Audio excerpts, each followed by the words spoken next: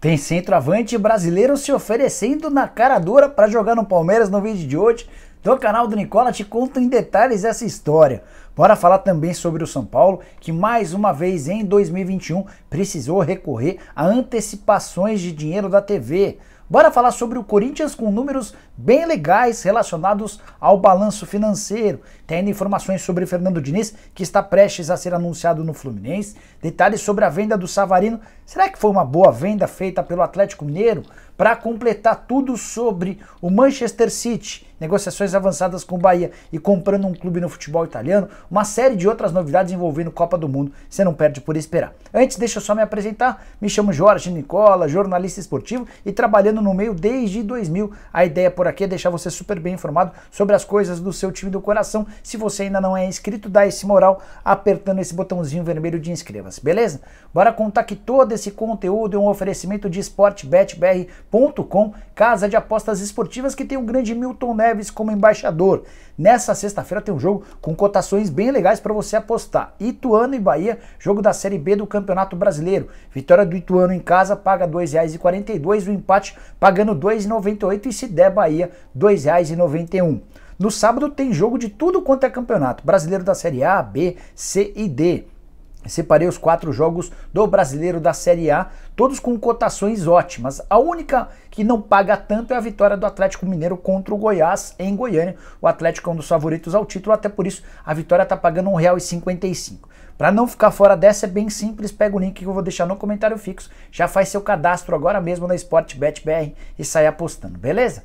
Bora começar com um giro de notícias e a primeira informação. Conversei nessa sexta-feira com o Duílio Monteiro Alves. A gente trocou mensagem por WhatsApp e o Duílio assegurou que ninguém do departamento de futebol do Corinthians sequer cogitou a possibilidade de uma troca envolvendo Rigoni e Luan. Já havia contado para vocês que a chance era zero. Cheguei a falar que no São Paulo essa ideia foi muito mal avaliada dentro do Corinthians. Houve um dirigente não ligado ao futebol que gostou da ideia, especialmente por conta da possibilidade de se livrar do Luan. Mas, de acordo com o Duílio, nem se discutiu essa possibilidade de forma interna no departamento de futebol, que é quem manda nas coisas. Bora falar sobre o Everton Guimarães, comentarista da TV Bandeirantes nos últimos 10 anos. Nessa sexta-feira ocorreu ou saiu a notícia de que ele está deixando a Band, tudo porque a Bandeirantes exigiu que ele deixasse a Rádio 98, onde ele é apresentador. O Everton entendeu que para ele era mais negócio continuar na rádio e dessa maneira nos próximos dias ele se desliga de forma oficial da TV Bandeirantes. Bora falar que Guarani e Vasco não devem se enfrentar no brinco de ouro da Princesa. Dirigentes do Guarani têm negociações avançadas para mandar essa partida em Manaus organizadores desse jogo já prometeram uma grana legal para o Guarani, de olho na possibilidade de levar muitos vascaínos ao estádio Manauara. Bora falar também que a Comembol anunciou nessa sexta-feira uma punição ao River Plate pelo ato de racismo cometido por um torcedor do River contra o Fortaleza. Você vai lembrar que o cara tirou uma banana em torcedores do Fortaleza. Punição de 150 mil reais não é o tipo de coisa que vai surtir efeito, não tenho a menor dúvida. Para fechar, contar que Davi Luiz, depois de ser liberado do jogo contra a Católica para resolver problemas pessoais, participou normalmente do treino dessa sexta-feira e se colocou à disposição do Paulo Souza para o próximo jogo do Flamengo. Fechamos o giro de notícias, bora começar com as notícias para valer. Primeira informação sobre a Copa do Mundo e a venda de ingressos. A FIFA divulgou nas últimas horas um balanço sobre a primeira fase de ingressos já vendidos. E dos quatro jogos com maior demanda, três são da Argentina: o primeiro, o segundo e o quarto jogo. jogo. O primeiro jogo com mais demanda, Argentina e México. O torcedor do México é muito apaixonado também. O segundo jogo entre Argentina e Arábia Saudita e o quarto jogo entre Argentina e Polônia. Terceira partida com mais demanda de ingressos até agora envolve Inglaterra e Estados Unidos. Apesar dessa presença marcante da Argentina nos principais jogos, o país que mais teve ingressos comprados até agora foi a Rússia. Rússia na primeira colocação, Argentina em segundo, México em terceiro, Estados Unidos, Estados Unidos em quarto e o Brasil aparecendo na quinta posição. Bora falar sobre Vanderlei Luxemburgo, que não é técnico desde a virada do ano. Você vai lembrar que ele era o comandante do Cruzeiro. Ronaldo Fenômeno assumiu a SAF da Raposa e decidiu por tirar o Luxa da parada. Desde então, Luxemburgo não voltou a trabalhar e nem teve o nome especulado. E o pessoal do Metrópolis, site é, que trata sobre vários assuntos, afirma que o Luxemburgo não vai mais trabalhar. O próprio Luxemburgo deu uma entrevista a eles admitindo que está dando um tempo no futebol, tudo porque ele quer ser senador por Tocantins. inclusive já se filiou a um partido, ao PSB, e vai tentar a eleição um pouquinho mais para frente no final desse ano, nas eleições marcadas para o Brasil. Bora falar sobre o Manchester City. Negociações bastante avançadas com o Bahia. Tenho contado para vocês a esse respeito. Além do Bahia, o Grupo City também tem negociações praticamente fechadas com o Palermo. O que me chama a atenção é que o time italiano vai ser adquirido por apenas 6 milhões de euros e esse valor vai garantir 80% das ações ao grupo comandado pelo Sheikh. É, por que tão barato, 6 milhões de euros? É que o Palermo vive uma fase ruim. O time disputa a terceira divisão do italiano, embora vá participar a partir de agora dos playoffs para garantir o acesso à Série B.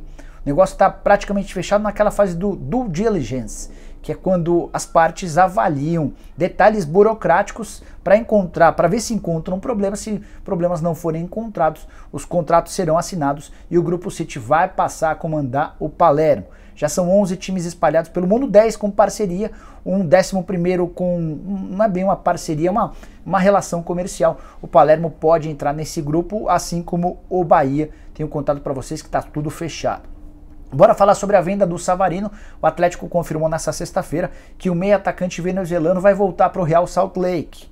Valores até menores do que aqueles que vinham sendo divulgados. O martelo foi batido por 2 milhões e meio de dólares ou 12 milhões e meio de reais. Esse valor vai garantir 40% dos direitos econômicos ao Real Salt Lake. O Atlético vai manter mais 20% de ouro numa venda futura. Considero de fato a venda baixa. Savarino é bom jogador, só 25 anos de idade, 98 partidas com a camisa do Galo, 69 jogos como titular, 19 gols e 19 assistências. Por que, que o Atlético acabou fazendo essa venda? Primeiro porque o Savarino insistia muito que queria ir embora estava disposto a voltar para os Estados Unidos, ele já jogou no Real Salt Lake, disse que não estava sendo tão útil quanto imaginava e deu uma forçadinha de barra para ser negociado. Outro ponto importante, o Atlético com a chegada do Pavão na metade do ano estaria com sete estrangeiros e só cinco podem ser utilizados, até por isso o Galo acabou fazendo o negócio. Vale lembrar que quando comprou do Real Salt Lake, o Atlético pagou no Savarino 8 milhões de reais por 60% dos direitos. Então ele comprou por 8, vendeu por 12,5 mas ainda manteve 20% de olho numa venda futura. Você venderia o Savarino por 12 milhões e meio de reais? Entende que o valor é baixo? Usa o espaço para comentários para palpitar, beleza? Bora falar agora sobre o Fluminense, que deve anunciar nas próximas horas Fernando Diniz como seu novo comandante. O Flu, desde a saída do Abel Braga na quarta-feira, conversou de forma prioritária com o Cuca e ouviu que o Cuca não está disposto a voltar a trabalhar. O Cuca está esperando por um convite da seleção brasileira depois da Copa do Mundo. Sem o Cuca, as negociações se concentraram com o Fernando Diniz. Já está tudo alinhavado, tudo acertado, faltavam detalhes burocráticos, até por isso o anúncio ainda pode ocorrer nessa sexta-feira. O Diniz, que saiu recentemente do Fluminense e naquela oportunidade ele dividia opiniões. O elenco adorava o Fernando Diniz, parte da torcida também, mas dentro do clube e especialmente por outra metade de torcedores, havia avaliação de que o Diniz não era capaz de dar regularidade ao Fluminense, que conseguia jogar bonito, mas não tinha tantos resultados. Não sei se era aposta que eu faria não, tá? Acho que o Fluminense precisaria de algum técnico mais pronto, mas vamos esperar e aguardar cenas dos próximos capítulos para tirar conclusões menos precipitadas, certo? Bora falar agora sobre o Corinthians que apresentou seu balanço financeiro de 2021. Números muito bons, a começar pelo superávit. O que, é o superávit? O Corinthians lucrou ou gastou 5 milhões e 600 ou 700 mil reais a menos do que gastou. Então, a conta fechou positiva em 5 milhões e 700 mil reais. Número bastante bom, levando em consideração que no ano anterior, em 2020, o Corinthians havia tido um prejuízo de 123 milhões de reais. Esse lucro no ano passado se deu por uma série de motivos, como por exemplo a receita anual que bateu 502 milhões de reais, novo recorde na história do Corinthians. Os patrocínios aumentaram 68%, direitos de TV cresceram 40%, receitas de marca ou da marca aumentaram mais 61%. Tudo isso numa temporada marcada por boa parte do ano com pandemia certamente os números seriam ainda melhores. Despesas operacionais também diminuíram 82 milhões de redução na comparação com o ano anterior. Diante de tudo isso, o Corinthians conseguiu reduzir suas dívidas. Elas caíram 3 milhões de reais. Não é muita coisa, mas houve uma redução. Hoje a dívida total do Timão é de 912 milhões de reais. Não está incluída nessa conta a dívida do estádio que gira na casa de meio bilhão de reais. Bora falar agora sobre o São Paulo. De acordo com o próprio balanço do tricolor, São Paulo na temporada passada precisou recorrer a um adiantamento de 40 milhões de reais. Este adiantamento foi feito graças a um contrato de TV. Era uma praxe em outros tempos, os clubes sempre recorriam a esses empréstimos ou a essas antecipações para garantir o fluxo de caixa.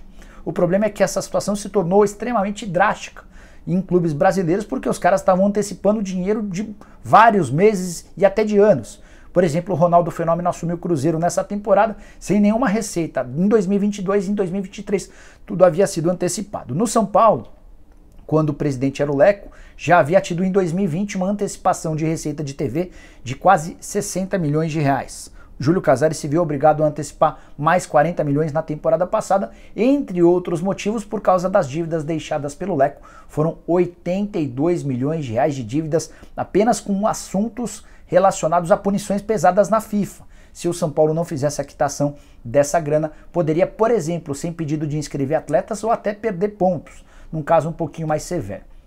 Contei para vocês detalhes do balanço divulgado pelo São Paulo nos últimos dias. O Tricolor teve um déficit de 106 milhões de reais na temporada passada, apesar do crescimento das receitas, que subiram 107 milhões na comparação com o ano anterior. Agora há pouco falei sobre a receita do Corinthians, que foi recorde de 502 milhões de reais. Por receita, entenda quanto o clube foi capaz de faturar. 502 milhões para o Corinthians, 465 milhões para o São Paulo que vive hoje uma dívida aproximada de 642 milhões de reais, bem menor do que os 912 milhões de reais de dívida do Corinthians. E você, quem tem mais preocupação em relação à parte financeira, Corinthians ou São Paulo, use o espaço para comentários para deixar sua opinião, beleza? Bora fechar o vídeo falando sobre o atacante brasileiro, fazedor de gols que se ofereceu na cara dura me refiro a Luiz Felipe, atleta de 28 anos de idade, que já viveu bons momentos no futebol português, com a camisa do Passos de Ferreira e também com a camisa do Sporting. Chegou a ser titular absoluto do clube de Lisboa, mas depois de uma contusão não conseguiu reeditar seu bom futebol. Nesse momento está emprestado a um time grego, o OTI. São sete gols marcados nos últimos nove jogos. Aos pouquinhos, o Luiz Felipe vai recuperando a melhor forma. E a curiosidade é que ele deu uma entrevista à ESPN e não poupou ou não demonstrou qualquer preocupação em ser prudente. Ele deixou bem claro que topa jogar no Palmeiras. Dá uma olhada nas declarações, abre aspas. O Palmeiras está numa fase muito boa. Vi nos jornais e sites que eles estão precisando de um 9. Não sei se já encontraram, mas podem me ligar quando quiserem. Agora vem a parte mais curiosa. Eu converso com o Palmeiras se houver interesse deles tomar, é, toparia voltar ao Brasil, claro, mas não dependeria só de mim e também do esporte. Mas, vendo o Palmeiras como está hoje, seria muito interessante. Até aí não passa de um brasileiro olhando para uma boa fase do Palmeiras e de olho na possibilidade de ser contratado, certo? Mas tem uma outra historinha que é importante para entender esse contexto todo. O Luiz Felipe é um velho conhecido do Abel Ferreira, quando ele fazia sucesso com a camisa do Passo de Ferreira, o Abel tentou contratá-lo. O Abel, na época, dirigia o Braga. Essa história foi contada pelo próprio Luiz Felipe. Depois de um jogo em que o Braga fez 3 a 0 no Passo de Ferreira, meio que por acaso, os dois, o atacante e o técnico, se encontraram num elevador. E o Abel falou que queria contratá-lo. O Luiz falou, beleza, vamos conversar. Inclusive o Abel sugeriu que o Luiz Felipe o procurasse no Facebook, porque a partir dali eles conversariam. Acontece que o Luiz vivia a fase tão boa que ele também recebeu propostas do esporte e do Porto e acabou optando por jogar no esporte, então não houve a possibilidade de o Luiz Felipe trabalhar com o Abel Ferreira no futebol português. Caberia no Palmeiras hoje? Resolveria os problemas do camisa 9? Tenho muitas dúvidas. Acho que o Palmeiras precisa contratar um centroavante mais pronto, que chegue para assumir de fato a condição de titular. A aposta, na minha opinião, já foi feita com a chegada do Navarro, que até agora, apesar dos gols na Libertadores, ainda não me convenceu. E você? Usa o espaço para comentários, deixa a sua opinião, deixa like também, se inscreve, aquela coisa toda, beleza? A gente se vê um pouco mais tarde com o programa do Nicola. Abraço, tchau!